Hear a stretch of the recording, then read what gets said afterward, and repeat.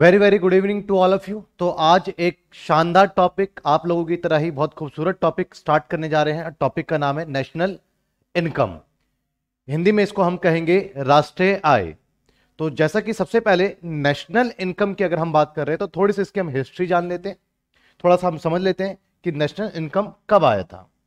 जैसा आप अपने सामने स्क्रीन पर आप देख रहे हैं कि नेशनल इनकम सबसे पहले दादा भाई नरोजी ने अठारह में 1876 में सबसे पहले जो है, हमारा नेशनल इनकम कैलकुलेट हुआ था 1876 में।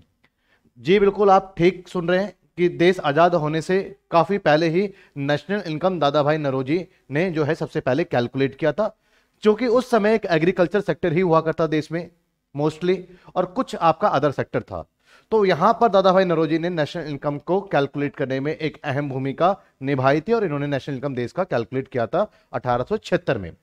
अब जैसा कि आप हिस्ट्री जान रहे हैं तो कुछ सवाल आपके माइंड में आ रहा है कि हमें नेशनल इनकम क्या है और इसको कैलकुलेट करने की नीड क्या है? क्यों इसको हमें कैलकुलेट करना पड़ता है? तो सबसे पहले आप नेशनल इनकम का एक, एक साधारण सी भाषा में मैं अभी आपको बताऊँगा क्योंकि नेशनल इनकम का अर्थ समझने के लिए तो पूरा चैप्टर जब एंड हो जाता है तब आपको एक्चुअल में नेशनल इनकम का मीनिंग समझ में आता है। लेकिन अभी स्टार्टिंग है और आपके अंदर ये जिज्ञासा होगी कि नेशनल इनकम क्या है तो वो समझ लेते हैं। मान लीजिए नेशनल इनकम के बारे में कि आप यहाँ पर मान लें कि कुल मिलाकर करके एग्ज़ाम्पल के लिए हमारे देश में हमारे जो रेजिडेंट्स हैं, जो हमारे रेजिडेंट्स हैं। मान लीजिए तीन लोग हैं, एक की आमदनी दस रुपए है और एक की आमदनी पंद्रह रुपए है और एक की आमदनी जो है पाँच रुपए है। तो इन तीनों की आमदनी कुल कितना है? इन तीनों की आमदनी कितनी निकल करके आई? तीस रुपए। क्लियर है? तो इसी को हम, हमारे हमारे जो है नेशन में जितने भी हमारे रेजिडेंट्स हैं, उन सब की इनकम का अगर आप सम कर दोगे, जो उन्होंने एक फ़िज़िकल ईयर में अर्न किया है जो कि उन्होंने एक फाइनेंशियल ईयर में अर्न किया है। फ़िज़िकल ईयर फाइनेंशियल ईयर का मतलब क्या है? जो फ़र्स्ट अप्रैल से स्टार्ट होकर के थर्टी फ़र्स्ट ऑफ़ मार्च तक रहता है। तो एक फ़िज़िकल ईयर में हमारे जो रेजिडेंट्स हैं, इन रेजिडेंट्स ने जो इनकम अर्न की है एक साल में, उस इनकम का अगर आप सम कर दोगे तो ये हमारा नेशनल इनकम बनता है। क्लियर है जी? ये बात समझ में आई आपको? नेशनल इनकम क्या है? लेकिन अभी ठहरिए अभी मैंने एक रेजिडेंट्स वर्ड को यूज़ करा है, ये इतना आसान और इतना छोटा वर्ड नहीं है। इस चैप्टर में ही आगे चल करके हम रेजिडेंशियल स्टेटस को बड़े डिटेल में समझेंगे। क्लियर है? तो आइए, बात करते हैं हम यहाँ पर कि आपको नेशनल इनकम का मतलब तो समझ में आ गया कि देश में जो भी लोग हमारे, या देश के बाहर जो भी लोग हैं, जो हमारे रेजिडेंट्स हैं जो उनकी आमदनी होती है, उन पैसे को जोड़ करके एक साल में कितनी कमाई हुई है, उसको हम नेशनल इनकम कहते हैं। लेकिन अभी भी आपके मन में एक सवाल बना हुआ है कि, सर, इसको कैलकुलेट करने की नीड क्यों है? क्यों इसको हमें कैलकुलेट करना पड़ता है? तो इसको एक छोटे से उदाहरण से समझने की हम कोशिश करेंगे।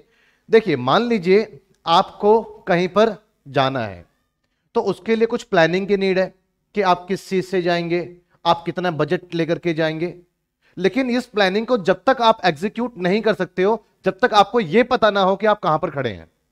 अगर आपको यही नहीं पता, मान लीजिए आप रात को सोते हैं और नींद में आपको उठा करके किसी जगह पर लेके चले जाते हैं और सुबह आपकी आँख खुलती है और आप एक कमरे में बंद है और आपको बताया जाता है कि आपको एक जगह लेकर के आए हैं, आपको यहाँ पर जाना है। लेकिन ये नहीं बताया गया आप कहाँ पर है तो कैसे क्या कोई प्लानिंग कर पाओगे आप? कोई प्लानिंग नहीं कर पाओगे आप। उसी तरीके से एक देश को आगे बढ़ाने के लिए एक इकोनॉमी को आगे बढ़ाने के लिए हमें बहुत सारी स्ट्रेटेजी और पॉलिसी की नीड होती है गवर्नमेंट के अंदर। उस पॉलिसी को जब तक हम अच्छे से प्लान नहीं कर सकते हैं जब तक हमें यह पता नहीं हो कि हमारे कंट्री की करंट सिचुएशन क्या हो। उस करंट सिचुएशन को जानने के लिए, समझने के लिए ही हमें यहाँ की इनकम का कैलकुलेशन करना होता है। क्लियर है? समझे? क्योंकि इकोनॉमिक कंडीशन को समझने के लिए आपको इनकम के ऊपर ही काम करना पड़ेगा। आप वहाँ पर हॉस्पिटल में जाकर करके कितने लोग बीमार हैं, उसको गिनने से आपको इकोनॉमिक स्टेटस का पता नहीं लगेगा। आप इकोनॉमिक ग्रोथ को लेकर के स्ट्रेटेजी एंड पॉलिसी नहीं बना सकते हैं। तो फ़र्स्ट हमें हमारी सिचुएशन क्या है, इसको जानने के लिए ही हम नेशनल इनकम को कैलकुलेट करते हैं। मुझे मालूम है, अब आपके दिमाग में एक बड़ा सवाल आया होगा, यार कितने रेजिडेंट्स हैं हमारे भारत की ही बात करें तो उन सबके पास जा जा करके कौन पूछेगा भाई कितना कमाया कितना कमाया? उसके बाद कोई तो एक तो सच बताता ही नहीं है। आज के डेट में हम खुद चार दोस्त के साथ में है, वो चारों ने हमें नहीं बताया आज तक वो कितना कमाता है। तो भैया पूरे देश में कौन किसको बताने के लिए बैठा है कितना कमाता है? तो सरकार को पता कैसे लगेगा कि भैया किसकी इनकम कितनी है? ये बहुत सारे सवाल के साथ में बहुत सारे सवाल आपके दिमाग में आए और मैं यही चाहता था कि इन सवाल के साथ में चैप्टर की शुरुआत की जाए ताकि आप इस चैप्टर के अंदर इन्वॉल्व हो, हो सके और चैप्टर को समझने में आपका इंटरेस्ट आए। मार्क्स अपने आप आ जाएँगे पेपर में बहुत अच्छा परफॉर्म भी आप कर दोगे वो सब चीज़ें आपके पास में है कंटेंट भी उस हिसाब से आपका रेडी है लेकिन कहीं ना कहीं ये सिलेबस है क्यों? ये सिलेबस आपके मार्क्स के लिए नहीं है ये सिलेबस आपके नॉलेज के लिए है। आप नॉलेज परस्पेक्टिव से पढ़े। क्लियर है जी? तो ये बात आपको समझ में सबसे पहले आई। कि नेशनल इनकम दादा भाई नरोजी भी आपके पास में नेशनल इनकम क्या है और इसको हम क्यों कैलकुलेट करते हैं? अब बहुत सारे सवाल आपके दिमाग में हैं। एक बात तो समझ में आ गया कि इतना आसान तो नेशनल इनकम को कैलकुलेट करना नहीं होगा, क्योंकि जब आप एक इतनी बड़ी आबादी की बात करूँ मैं, खासकर इस देश के जो अंदर लोग 130 करोड़ प्लस आबादी है और रेजिडेंशियल स्टेटस की मैं बात करूँ तो इनकी आमदनी का पता लगाना, उनका कैलकुलेशन करना, वो भी एक मेथड नहीं अलग अलग मेथड से देश की आय का बारे में पता लगाना, ये इतना आसान नहीं रहने वाला है। लेकिन मैं आपको इसको बहुत आसान कर दूँगा आने वाले टॉपिक्स में। लेकिन वो आसान होगा कैसे? बहुत बेसिक कर दूँगा। आप पाँच मिनट या चार मिनट के अंदर ही आप देश की आप राष्ट्रीय निकाल देंगे। वो उतना आसान होगा कैसे? वो उतना आसान आपके लिए जब होगा, जब आपकी थ्योरी बहुत आसान हो जाएगी आपके लिए। जब आपके लिए थ्योरी बहुत आसान हो जाएगी, जब आप थ्योरी से चीज़ों को समझ पाओगे, फिर आप फॉर्मूला बना पाओगे, फिर आप क्वेश्चन एंड न्यूमेरिकल पर इंप्लीमेंट कर सकते हो। तो आइए अपने सफ़र को हम थ्योरी से स्टार्ट करते हैं। पहले कुछ बेसिक नॉलेज को हम समझते हैं। ठीक है? नेशनल इनकम के न्यूमेरिकल की बारी आएगी, लेकिन उसके लिए पहले आपको तैयार होना है, जो कि आपके सिलेबस से रिलेटेड क्वेश्चन है थ्योरी के, क्योंकि सिर्फ़ न्यूमेरिकल न्यूमेरिकल ही नहीं आएँगे न्यूमेरिकल प्लस थ्योरी दोनों ही आएँगे इस चैप्टर से करके। तो आइए, पहले आप बेसिक सी चीज़ों को जरा समझिए। पहला ही क्वेश्चन मैंने डाला है define the consumption goods and capital goods तो कंजम्पशन गुड्स क्या होता है और कैपिटल गुड्स क्या होता है? पहली बात। तो यहाँ पर मैंने एक पिक्चर लगाया पहले इस पिक्चर से समझने की कोशिश करते हैं कि कंजम्पशन गुड्स क्या है कैपिटल गुड्स क्या है। जैसे कि ये आदमी जो है गन्ने का जूस पी रहा है तो ये आप जो गन्ने का जूस दे, देख रहे हैं इसी को हम बोलते हैं कंजम्पशन गुड्स क्लियर है? लेकिन इसका प्रोडक्शन जिसकी हेल्प से हो रहा है इसका प्रोडक्शन इस मशीन के हेल्प से हो रहा है। इस मशीन को हम कहते हैं कैपिटल गुड्स ये व्यक्ति इस दुकान पर आकर के इस मशीन को नहीं खाएगा। ठीक है ना? मशीन के हेल्प से एक जो चीज़ें प्रोड्यूस की गई है, जो जूस बनाया गया है, इस जूस को कंज्यूम करेगा, ये कंज्यूमर गुड्स है। तो कंज्यूमर गुड्स इसको डायरेक्ट सेटिस्फाइड कर रहा है। कंज्यूमर गुड्स क्या कर रहा है इसको? डायरेक्टली सेटिस्फाइड कर रहा है। बट कहीं ना कहीं इसको जूस देने में इसके, इसने भी अपना एक योगदान दिया है मशीनरी ने। तो मशीनरी जो है, ये कैपिटल गुड्स जो है, ये इसको इनडायरेक्टली सेटिस्फाइड कर रही है।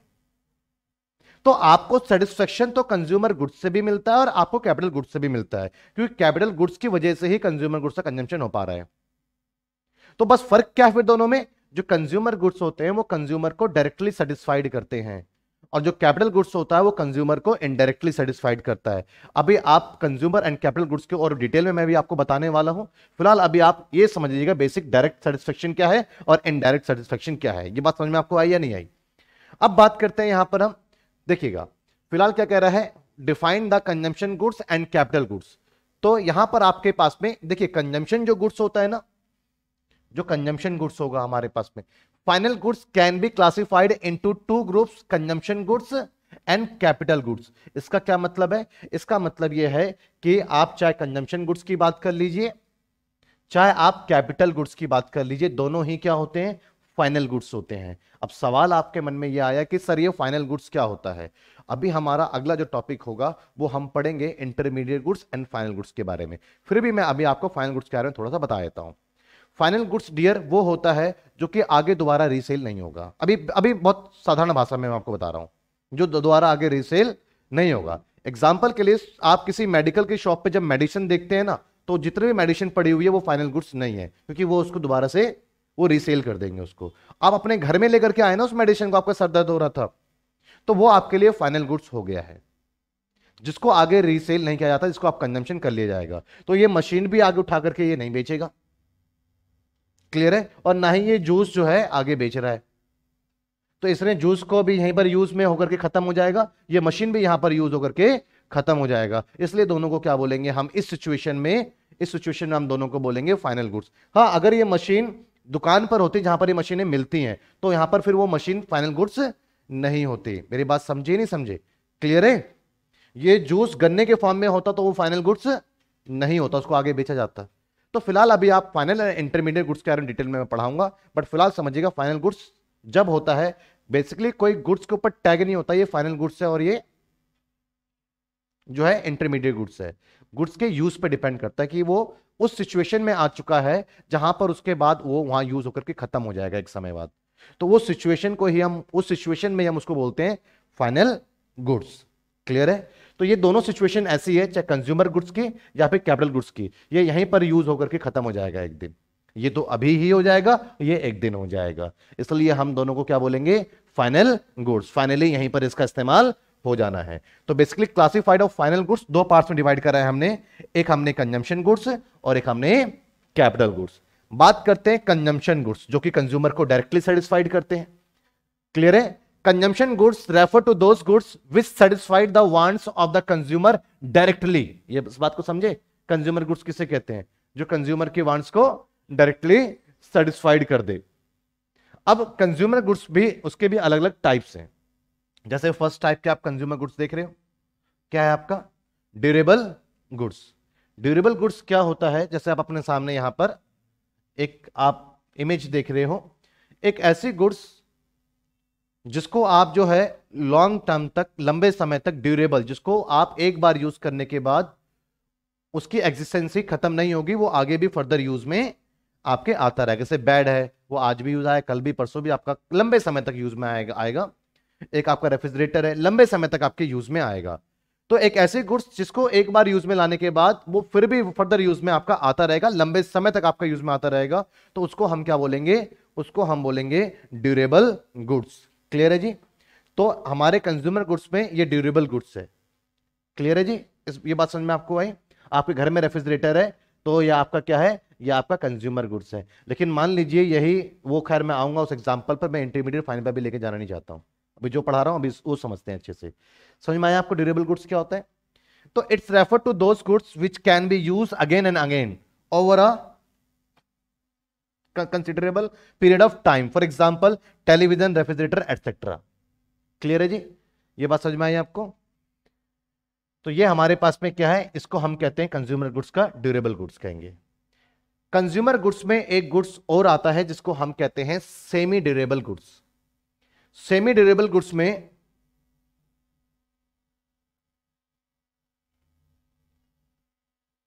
हाँ जी देखिए जरा। तो सेमी ड्यूरेबल गुड्स क्या होता है? सेमी ड्यूरेबल गुड्स वो गुड्स होता है जो कि ड्यूरेबल भी नहीं है और नॉन ड्यूरेबल भी नहीं है। मतलब कि ठीक ठाक चलेगा एक साल के आसपास उसका आप इस्तेमाल कर पाएँगे एक, एक डेढ़ साल आप उसका इस्तेमाल कर पाएँगे। जैसे कि आप देख पा रहे ना कि आपके पास में जो कपड़े हैं ये ऐसा नहीं दस साल तक आप अपने इस्तेमाल में ले आओगे।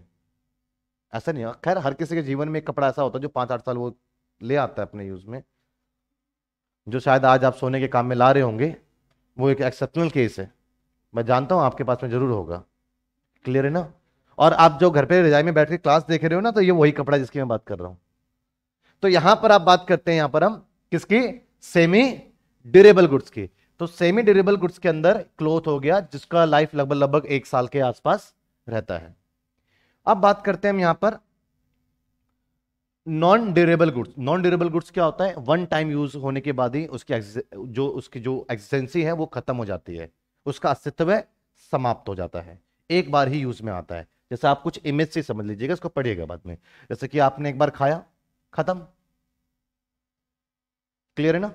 लेकिन कपड़ा आज पहना तो कल भी पहन लेंगे तो सेमी ड्यूरेबल बट एक साल के आसपास चलेगा।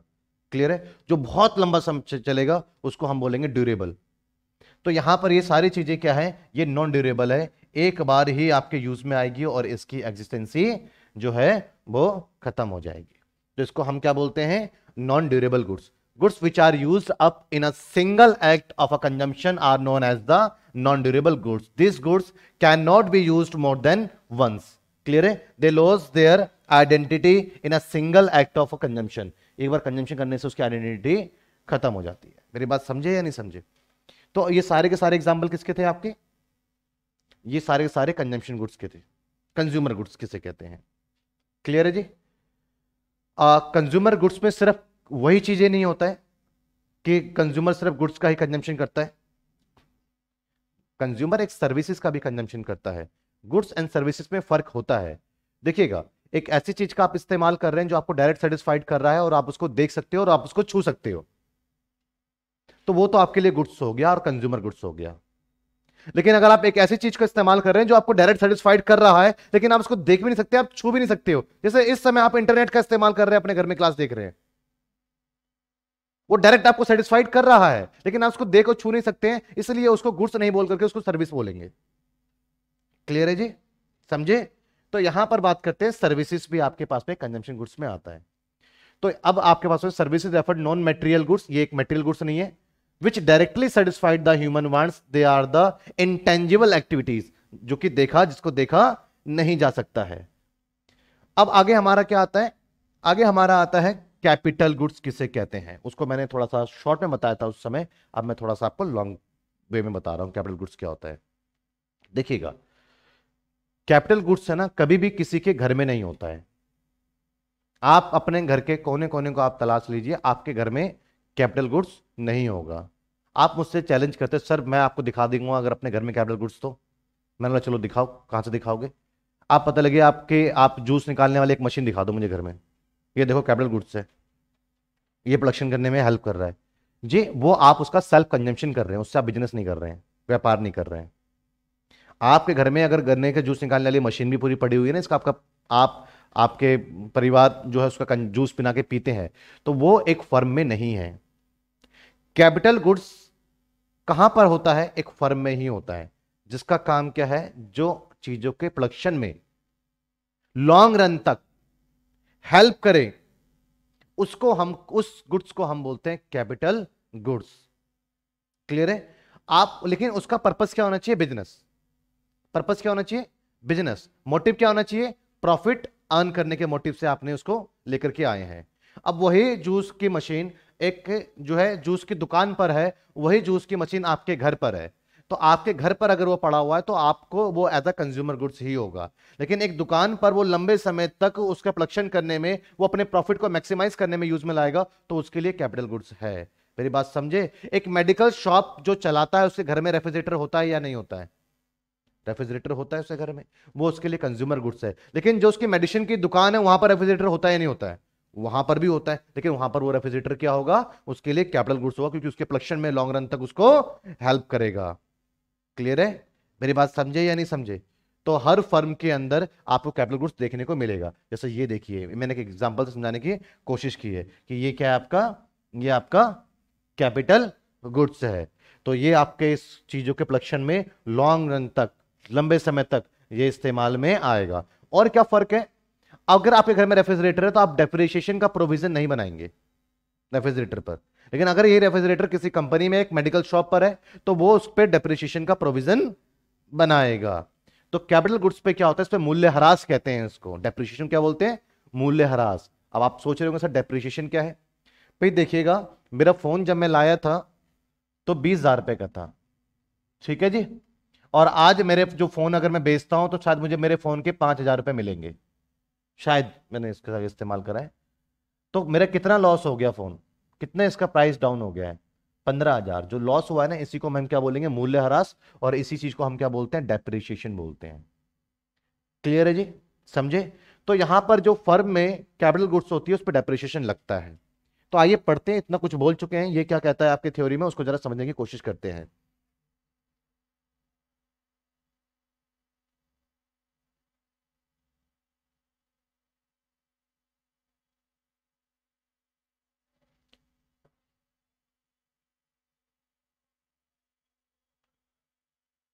Ready to use of goods the final goods ऐसा नहीं कहेंगे आप। अब जो कि मेडिकल शॉप पे जो मेडिसिन है, वो रेडी टू यूज़ है। बट वो फाइनल गुड्स नहीं है। फाइनल गुड्स और इंटरमीडिएट का मैं लूँगा एग्ज़ाम्पल मेरा अलग टॉपिक है वो। अच्छे से एग्ज़ाम्पल लूँगा मैं। हर एक एग्ज़ाम्पल लूँगा दस दस उदाहरण लूँगा कम से कम मैं।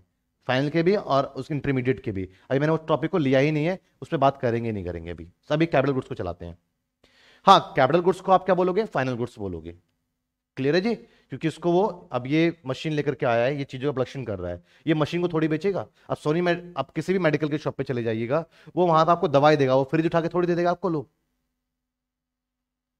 फ्रिज तो वो अपने यूज़ के लिए लाया है ना, अपने फॉर्म के यूज़ के लिए लाया है वो। क्लियर है, जो मेडिसिन है वो उसको बेचेगा तो मेडिसिन उसके लिए इंटरमीडिएट हो गया।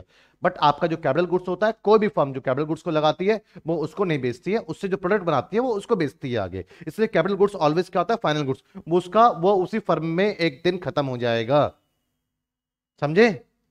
क्लियर है?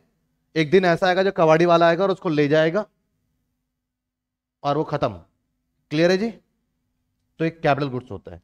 क्या कह रहा है? Capital goods are those final goods which help in production of other goods and services for example plant and machinery and equipments etcetera ये सारे के सारे क्या है हमारे? ये हमारे कैपिटल गुड्स है। Some points about capital goods they are use in future for production purpose and have the expected life time इस पर एक एक्सपेक्टेड लाइफ टाइम होता है ना, कोई भी चीज़ अगर आप मशीन अपनी फैक्ट्री में लेकर के आते हैं तो दस साल का प्रोविज़न बनाते हैं या बीस साल का प्रोविज़न बनाते हैं या नहीं बनाते हैं। ऐसा तो नहीं है ना? कि आप एक करोड़ रुपए की एक मशीन लेकर के आए और आपने उसको यूज़ कर रहे हो, कर रहे हो। जिस साल वो रिजेक्ट हुआ, आपने उस साल एक लाख रुपए का अपना, एक करोड़ का लॉस दिखा दिया। पता लगा उसमें पूरा आपका लॉस ही नज़र आएगा। इसलिए उसका एक प्रोविज़न बनाते हैं ना मशीन जब भी लेकर आते हैं दस साल के लिए है तो हर साल उसके जो है डेप्रिसिएशन बनाते हैं उसका। डालते हैं ना उसको हम अपने अकाउंट्स को जब हम मेंटेन करते हैं। तो ये है कि इसका अपना एक जो एक्सपेक्टेड लाइफ टाइम होता है। They do not lose their identity in the production process भैया, अगर गन्ने के जूस से अगर आप गन्ने के जूस की मशीन से अगर आप जूस निकाल रहे हो तो वो गन्ना ही पीस करके जूस में कन्वर्ट करेगा। वो खुद पिघल पुगल करके नहीं जाएगा आपके गिलास में। समझे ना? तो इसको यूज़ करने से कैपिटल गुड्स के यूज़ करने से, वो अपनी आइडेंटिटी को लूज नहीं करता है। रेफ्रिजरेटर में दवाई रख दिया किसी मेडिकल शॉप वाले ने, वो दवाई निकाल करके दे देगा। उसमें रेफ्रिजरेटर का कोई हिस्सा नहीं चला जाएगा, या रेफ्रिजरेटर का उसमें जो है शेप चेंज नहीं हो जाएगा। समझे या नहीं समझे? क्लियर है?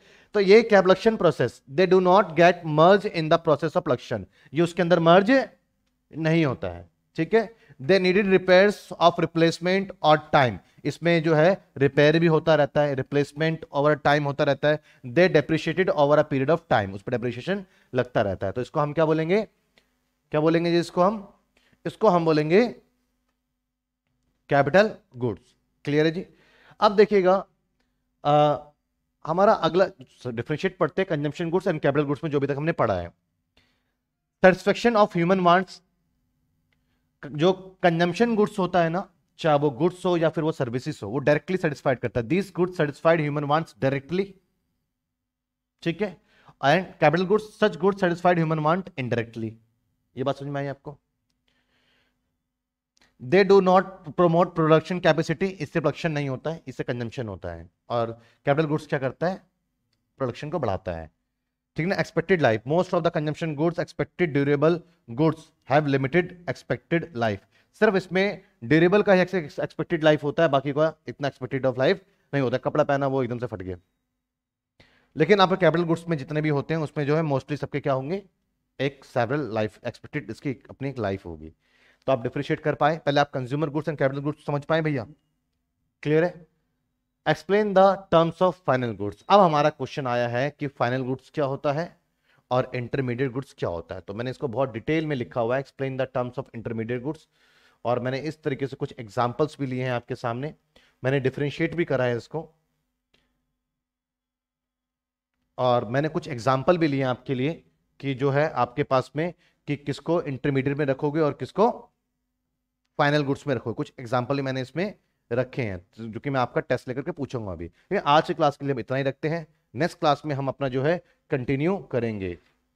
सर हिंदी में डाल देना नोट्स हाँ जी इसलिए क्योंकि हिंदी मीडियम का अलग बैच इसलिए बनाया है क्योंकि उसमें हिंदी में आपका कंटेंट अपडेट हो जाए। ठीक है? मैं अग, अग, इसको अगले क्लासेस में लिख के बताऊँगा आपको। फाइनल गुड्स अंतिम वस्तु एंड इंटरमीडिएट गुड्स क्या होता है आपका? मध्यवर्ती वस्तु। क्लियर है जी? और हिंदी में जो है आपका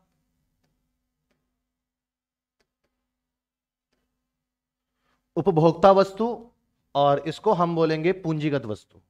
ठीक है जी? ये हमारा क्या होता है? जो है पूंजीगत वस्तु होगा। ठीक है जी? क्लियर है? और ये हमारा उपभोक्ता वस्तु। क्लियर है जी? नेक्स्ट क्लास में इसको हिंदी में भी कर देंगे। चलिए, मिलते हैं फिर अगली कक्षा में।